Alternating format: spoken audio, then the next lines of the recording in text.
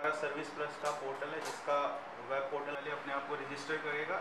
ये one time registration पास की service जो पहले से चल रही है कोविड के लिए जब भी रिस्ट्रिक्शन होता कब आप हिस्ट्री का पार्ट होने वाले हो? लाइट अच्छा आना चाहिए ये this is you know very E और G G ma'am first E certificate ये हमारी पिछले 20 दिनों से एक तैयारी चल रही थी ऑनेबल एलजी साहब की डायरेक्शन से। कि हमारी ज़्यादा से ज़्यादा सर्विसेज़ जो हैं, वो ऑनलाइन होनी चाहिए। और रेवेन्यू में हम लोग डिस्ट्रिक्ट उधमपुर में आठ सर्विसेज़ ऑनलाइन कर चुके हैं। और एक हमारा ई पास जो कि कोविड का पास है, वो ऑलरेडी ऑनलाइन चल रहा है। हमारी ये जो वेबसाइट है, इस पर भी हमारा डिस्ट्रिक्ट एडमिनिस्ट्रेशन वेबसाइट पे भी इसका इसका लिंक आपको अवेलेबल होगा। आज हमने एक मैरिज सर्टिफिकेट इशू किया है तहसील उधमपुर का। और ये मैरिज सर्टिफिकेट जो है, ये हमारा पहला मैरिज सर्टिफिकेट होगा जो ऑनलाइन इशू हुआ है।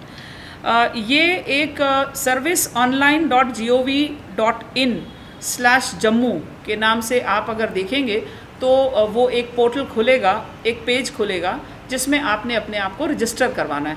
जब आप रजिस्टर करवा लेते हैं, उसके बाद जो है, जो भी सवाल वो पूछता जाएगा, आपने उसको फॉलो करना है। तो कुछ सर्विसेज़ हमने जो डिस्ट्रिक्ट उधमपुर ने ऑनलाइन कर दी हैं रेवेन्यू की, मैं उनका नाम लेना चाहती हूँ। Issuance of O B C R B and A L C certificate by tehsildar. Issuance of S C S T certificate by tehsildar.